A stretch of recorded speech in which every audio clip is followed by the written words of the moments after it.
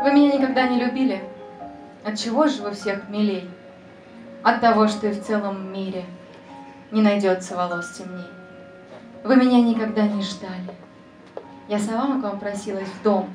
Сколько было во мне печали, когда плакала ночь за окном, когда руки мои дрожали, когда я не могла сказать, что сильнее моей печали вам, веселому, не сыскать, что нежнее и безнадежней не бывает любви моей.